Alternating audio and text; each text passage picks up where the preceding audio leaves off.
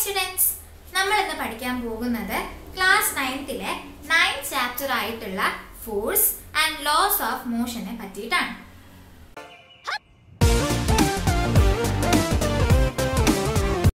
നമ്മൾ പ്രീവിയസ് ചാപ്റ്ററിൽ പഠിച്ചിട്ടുണ്ട് about the position motion velocity acceleration uniform മോഷനെ പറ്റി അതുപോലെ തന്നെ നോൺ യൂണിഫോം മോഷനെ പറ്റി പഠിച്ചിട്ടുണ്ട്.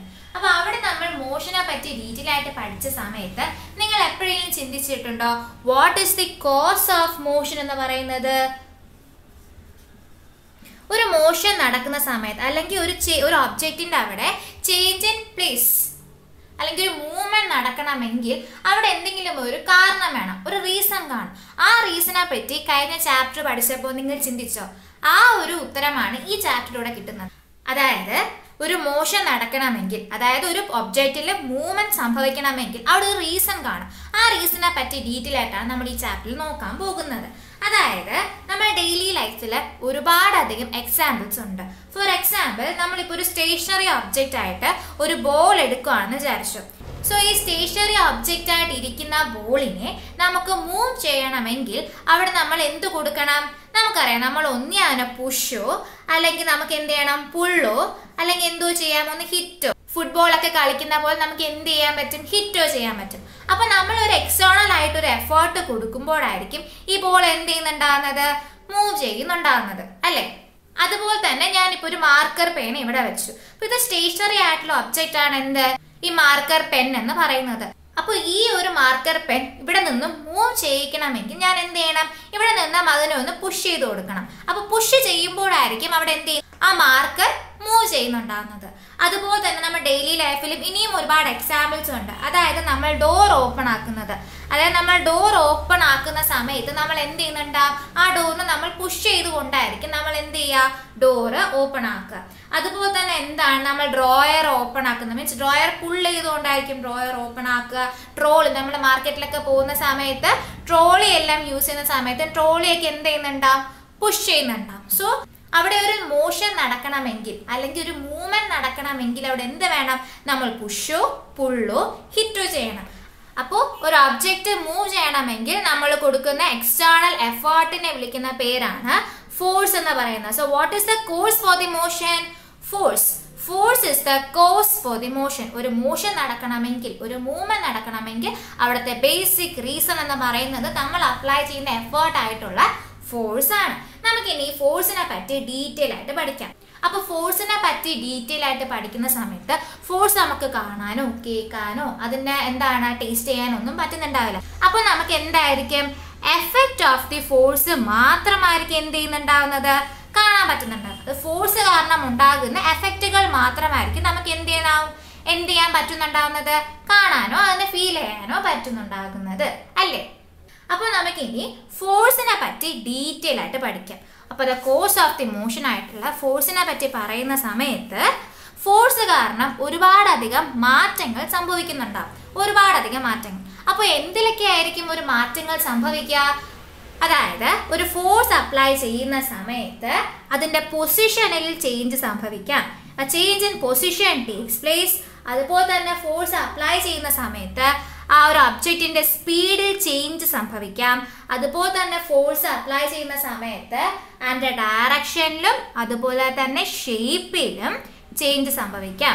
സോ ഇതിനൊക്കെ ഒരു എക്സാമ്പിൾ പറയുമ്പോഴത്തേക്കും നമുക്കത് ക്ലിയർ ആയിട്ട് മനസ്സിലാകും. അതായത് പൊസിഷനിൽ മാറ്റം വരാന്ന് പറയുന്നത് നമ്മുടെ ഈ മാർക്കർ പെൻ തന്നെയാണ്.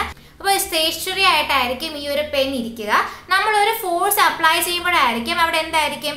ചേഞ്ച് ഇൻ പൊസിഷൻ സംഭവിക്കുന്നുണ്ടാവും അപ്പൊ എന്താണ്? നമുക്ക് ഫോഴ്സ് അപ്ലൈ ചെയ്യുമ്പോൾ ഒരു ഒബ്ജക്റ്റിന്റെ പൊസിഷൻ മാറാൻ സാധ്യത കാണും.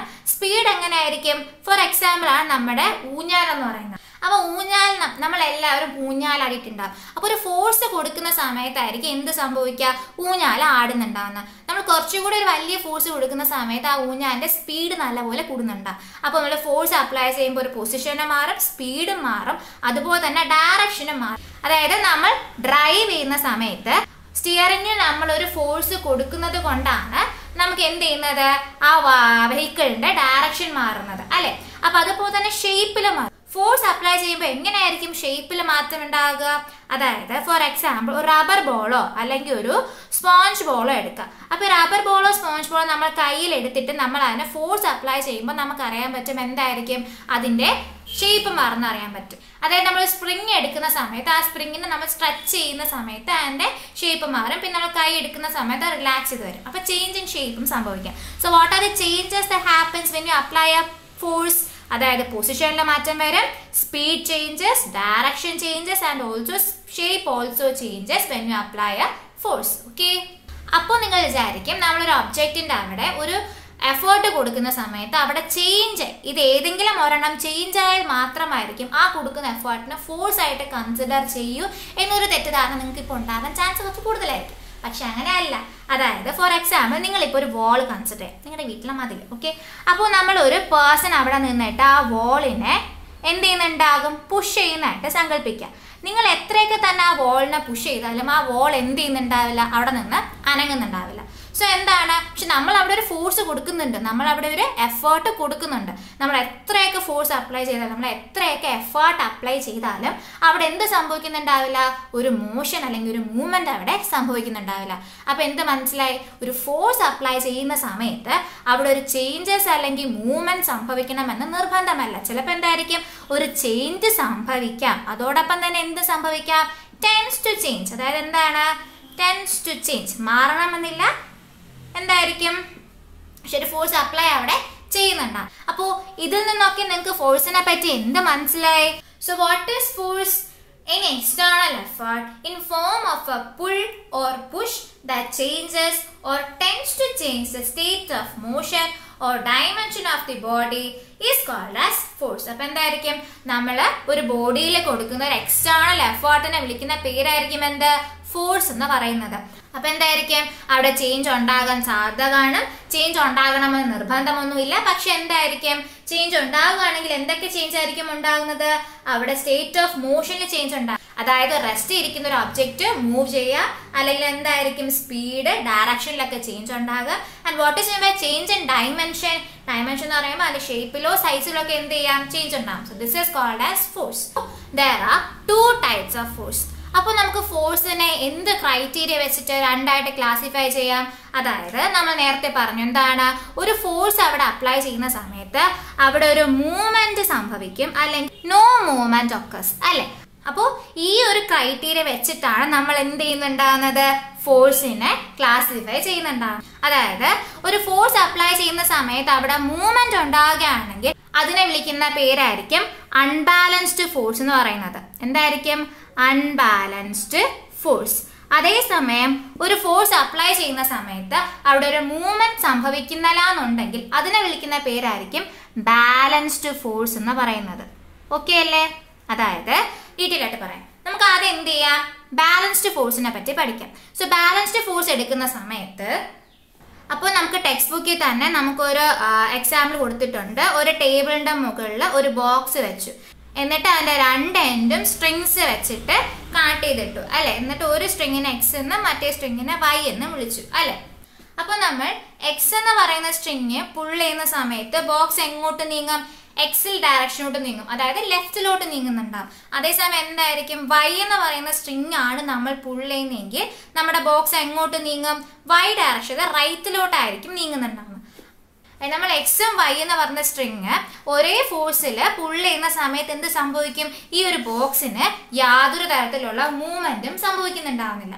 അതായത് ഈക്വൽ ഫോഴ്സ് ആയിരിക്കും അവിടെ അപ്ലൈ ചെയ്യുന്നത്. എന്ത് ഫോഴ്സ് ആയിരിക്കും? ഈക്വൽ ഫോഴ്സ് ആയിരിക്കും അവിടെ അപ്ലൈ ചെയ്യുന്നുണ്ടാവുന്നത്. സോ ഈക്വൽ ഫോഴ്സ് അപ്ലൈ ചെയ്യുന്ന സമയത്ത് നെറ്റ് ഫോഴ്സ് അതായത് മൊത്തത്തിലുള്ള ഫോഴ്സ് എന്ത് ചെയ്യുന്നുണ്ടാകും? ക്യാൻസൽ ആയി പോയിട്ട് സീറോ ആയിട്ട് മാറും. അതായത് നമ്മൾ എക്സിന്റെ അവിടെ നിന്ന് ഒരു ടെൻ ഫോഴ്സ് ആണ് അപ്ലൈ ചെയ്തെങ്കിൽ അതേപോലെ വൈയിൽ നിന്ന് നമ്മൾ എന്ത് ചെയ്തു? ടെൻ ഫോഴ്സ് അപ്ലൈ ചെയ്തു വിചാരിച്ചു. അപ്പൊ എന്തായിരിക്കും? എക്സും വൈയും കൂടെ ഒരേപോലത്തെ ഫോഴ്സ് ആയതുകൊണ്ട് നള്ളിഫൈ ചെയ്ത് പോയിട്ട് നെറ്റ് ഫോഴ്സ് അവിടെ സീറോ ആയതുകൊണ്ട് അവിടെ യാതൊരു തരത്തിലുള്ള മൂവ്മെന്റും സംഭവിക്കുന്നില്ല. സോ അതുപോലെയുള്ള ഫോഴ്സിനെ വിളിക്കുന്ന പേരാണ് ബാലൻസ്ഡ് ഫോഴ്സ് എന്ന് പറയുന്നത്. So so what is called as balanced force The forces are said to be balanced force if they nullify one another and the resultant force force zero അപ്പോൾ എന്താണ്? ഈക്വൽ ആയിട്ടുള്ള force apply ചെയ്യുന്ന സമയത്ത് അവ രണ്ടുപേരും nullify ചെയ്തിട്ട് net force zero ആകുന്ന സമയത്ത് അതിനെ വിളിക്കുന്ന പേരായിരിക്കും എന്ത്? ബാലൻസ്ഡ് ഫോഴ്സ് എന്ന് വിളിക്കുന്നത്. അപ്പൊ എന്തായിരിക്കും അൺബാലൻസ്ഡ് ഫോഴ്സ് എന്ന് പറയുന്നത്? അതായത് നമ്മൾ വൈ എന്ന് പറയുന്ന സ്ഥലത്ത് എന്ത് ചെയ്യുന്നു? വൈന് ഒരു ടെൻ ഫോഴ്സ് നമ്മൾ എന്ത് ചെയ്യുന്നുണ്ടാവും? ടെൻ ന്യൂട്ടൺ ഫോഴ്സ് നമ്മൾ അതിനെ പുൾ ചെയ്യുന്നുണ്ടാവും. അതേസമയം വൈനെക്കാട്ടും എന്ത് ചെയ്യുന്നുണ്ടാവും? കുറച്ച് പേര് ഇരട്ടി ഫോഴ്സിൽ ട്വന്റി ന്യൂട്ടൺ കൊടുത്തിട്ട് നമ്മൾ എന്ത് ചെയ്യുന്നുണ്ടാവും? എക്സിനെ പുൾ ചെയ്യുന്നുണ്ടാവും. സോ ഏത് ഡയറക്ഷനിലോട്ടായിരിക്കും ബോക്സ് നീങ്ങുന്നുണ്ടാവുന്നത്?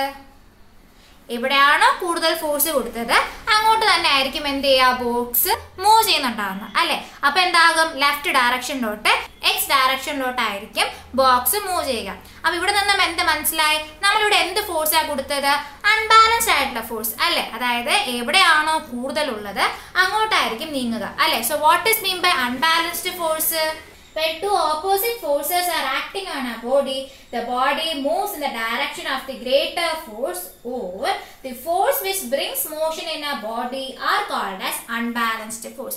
അപ്പോൾ എന്തായിരിക്കും അൺബാലൻസ്ഡ് ഫോഴ്സ് എന്ന് പറയുന്നത് ഒരേ ഒരു ഒബ്ജക്റ്റിന്റെ അകത്ത് ഒരു സെയിം ഒബ്ജക്റ്റിന്റെ അകത്ത് രണ്ട് അൺഈക്വൽ ആയിട്ടുള്ള ഫോഴ്സ് അപ്ലൈ ചെയ്യുന്ന സമയത്ത് എവിടെയാണോ കൂടുതൽ ആ വശത്തോട്ടാണ് ആ ബോക്സ് മൂവ് ചെയ്യുന്നതെങ്കിൽ അതിനെ വിളിക്കുന്ന പേരായിരിക്കും അൺബാലൻസ്ഡ് ഫോഴ്സ് അല്ലെങ്കിലോ ഏതൊരു ഫോഴ്സ് ആണ് ഒരു ഒബ്ജക്റ്റിനെ മൂവ് ചെയ്യാൻ സഹായിക്കുന്നതെങ്കിൽ ആ ഫോഴ്സിനെ എന്തും വിളിക്കും? അൺബാലൻസ്ഡ് ഫോഴ്സ് എന്ന് വിളിക്കും. സോ നമ്മൾ ഇവിടെ ടൈപ്സ് ഓഫ് ഫോഴ്സിനെ പറ്റി പഠിച്ചു അല്ലേ? സോ അൺബാലൻസ്ഡ് ഫോഴ്സിനെ കുറച്ച് മനസ്സിലാക്കാൻ വേറൊരു എക്സാമ്പിൾ കൂടിയുണ്ട്. ഫോർ എക്സാമ്പിൾ നമ്മളിപ്പോൾ ഗ്രൗണ്ടിൽ നിൽക്കുവാണെന്ന് വിചാരിച്ചു. അപ്പോൾ നമ്മൾ ഗ്രൗണ്ടിൽ നിൽക്കുന്ന സമയത്ത് what help us to balance അതായത് ഗ്രൗണ്ടിൽ നിന്നും നമ്മുടെ സർഫസിൽ നിന്ന് നമ്മുടെ ബോഡിക്കും തമ്മിൽ ഇടയിലുള്ള എന്തായിരിക്കും ഗ്രാവിറ്റേഷണൽ ഫോഴ്സ് കാരണം ഉണ്ടാകുന്ന ഫ്രിക്ഷൻ ആയിരിക്കും എന്ത് ചെയ്യുന്നുണ്ടാകുക നമ്മളെ നിൽക്കാൻ സഹായിക്കുന്നുണ്ടാകും സോ ഡ്യൂ ടു ഫ്രിക്ഷൻ ആയിരിക്കും നമ്മൾ ബാലൻസ് ചെയ്ത് നിൽക്കുന്നത് സോ നമ്മളിപ്പോൾ ഒരാൾ ചെറിയൊരു ഫോഴ്സ് കൊടുത്ത് പുഷ് ചെയ്യാമെന്ന് വിചാരിച്ചു. അപ്പോൾ നമുക്ക് യാതൊരു ചേഞ്ച് ഇൻ മോഷനും കാണത്തില്ല. എന്തുകൊണ്ടാണ്? അവിടെ കൊടുത്ത ഒരു ചെറിയൊരു ഫോഴ്സ് ആയിരുന്നു. പക്ഷെ നമുക്ക് എന്താണ് നമ്മുടെ ഫ്രിക്ഷൻ നമ്മുടെ ഫ്രിക്ഷൻ നമ്മുടെ ബാലൻസ് കുറച്ചും കൂടെ സ്ട്രോങ് ആയിരിക്കും. അതേസമയം നമ്മുടെ ഫ്രിക്ഷനെ ഒപ്പോസ് ചെയ്തുകൊണ്ട് നമ്മൾ കുറച്ച് വലിയൊരു സ്ട്രോങ് കുറച്ച് ഹാർഡർ ആയിട്ടാണ് അയാൾ പുഷ് ചെയ്തിട്ടുണ്ടെങ്കിൽ നമ്മൾ എന്ത് ചെയ്യുന്നുണ്ടാവും നമ്മുടെ ബാലൻസ് തെറ്റി നമ്മൾ എന്ത് ചെയ്യുന്നുണ്ടാവും മറിഞ്ഞു വീഴാനുള്ള മറിഞ്ഞു വീഴാനുള്ള ചാൻസ് വളരെയധികം കൂടുതലായിരിക്കും. സോ എന്താണ്? അതിനെയാണ് അൺബാലൻസ്ഡ് ഫോഴ്സ് എന്ന് പറയുന്നത്. അതായത് അൺഈക്വൽ ആയിട്ടുള്ള ഫോഴ്സ് കാരണം അവിടെ ഒരു ഒബ്ജക്റ്റിലെ മൂവ്മെന്റ് സംഭവിക്കുമ്പോൾ അവിടെ അൺബാലൻസ്ഡ് ഫോഴ്സ് എന്നായിരിക്കും വിളിക്കുന്നുണ്ടാകുന്നത് സോ ലെറ്റ്സ് കൺക്ലൂഡ് നമ്മൾ ഇന്ന് എന്തൊക്കെ പഠിച്ചു? നമ്മൾ ഇന്ന് ഫോഴ്സിനെ പറ്റി പഠിച്ചു. എന്തായിരുന്നു force in external effort in form of a pull or push that changes or tends to change the state of motion or dimension of a body is called as in the force എന്ന് പറയുന്നു. പിന്നെ നമ്മൾ the changes the happens during a force ഒരു force apply ചെയ്യുന്ന സമയത്ത് അവിടെ ഉണ്ടാകുന്ന ചേഞ്ചസിനെ പറ്റി പഠിച്ചു. എന്തായിരുന്നു? ചേഞ്ച് ഇൻ പൊസിഷൻ ഹാപ്പൻസ് ചെയ്യും change in speed change in direction and change in ഷേപ്പും അവിടെ സംഭവിക്കുന്നുണ്ടാവും പിന്നെ നമ്മൾ എന്തും പഠിച്ചു? ടൈപ്സ് ഓഫ് ഫോഴ്സിനെ പറ്റി പഠിച്ചു. എന്തായിരിക്കും ടൈപ്സ് ഓഫ് ഫോഴ്സ് എന്ന് പറയുന്നത്? Where are two types of force അവിടെ ബാലൻസ്ഡ് ഫോഴ്സ് ഉണ്ടാകും അൺബാലൻസ്ഡ് ഫോഴ്സ് ഉണ്ടാകും. എന്തായിരിക്കും ബാലൻസ്ഡ് ഫോഴ്സ് എന്ന് പറയുന്നത്? The force has to be balance force if they nullify one another and the result force is zero അതിനെ വിളിക്കുന്ന പേരായിരിക്കും balanced force and when two opposite forces acting on a body move a body in a direction of the greater force or a force which brings motion in a body are called as unbalanced force നിങ്ങൾക്ക് ഈ video ഇഷ്ടപ്പെട്ടിട്ടുണ്ടെങ്കിൽ like ചെയ്യാൻ മറക്കരുത്. കൂടാതെ തന്നെ നിങ്ങളുടെ ഫ്രണ്ട്സിന് share ചെയ്യാനും മറക്കരുത്.